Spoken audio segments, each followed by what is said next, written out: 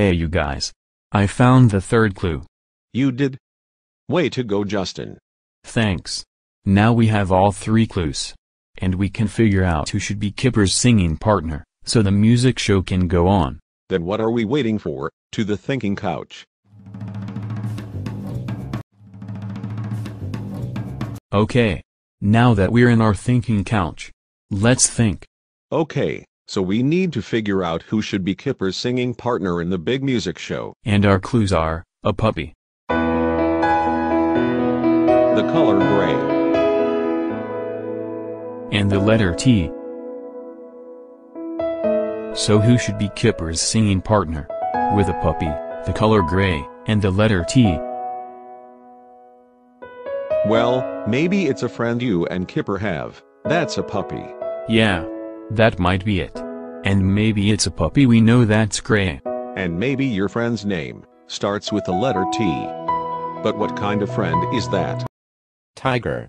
Tiger. That's it. Yeah. Because Tiger is a puppy, his fur is gray, and his name starts with the letter T. We just figured out Kipper's clues.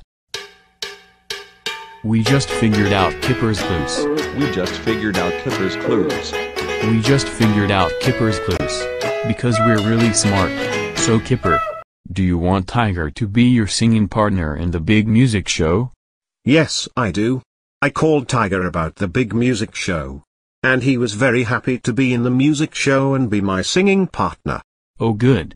And now that we found all three clues, and found a new singing partner for you, we can check the last thing off our list, check. And look at that. We finished everything on our list. Oh boy, that means we're ready for the big music show. Oh boy. That must be Tiger. Come in. Hi guys. I'm here for the big music show. Oh good. You're just in time. Is Jared here with you too? Yes he is, and so is his sister. They're in the backyard with the audience. Oh good. Then let's go get ready for the big music show.